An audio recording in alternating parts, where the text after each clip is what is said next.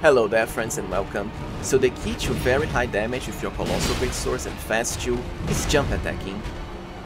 Because this is a no-hit run, I'm trying to keep my distance away from Godrick.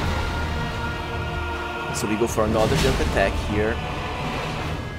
When he starts laughing, he'll do the ground slam. You can avoid this by jumping twice in quick succession, but because we are a slow attacker, I decided against it. So we already break his stance and get another attack. Now, when he goes for his arm slicing, you can get some free hits, but it can be a bit dangerous. To avoid the fire breath, it's pretty simple, just rush straight at Godrick, and you easily avoid it. We already break his stance again, and that's it, we finished him off with more jump attacking. Pretty simple, right? Now you can actually get more fast attacks with your Colossal Great Swords by crouching and attacking, or also rolling and attacking afterwards. I decided against it, well, because once again it's a no-hit run, so I wanted to keep it safe.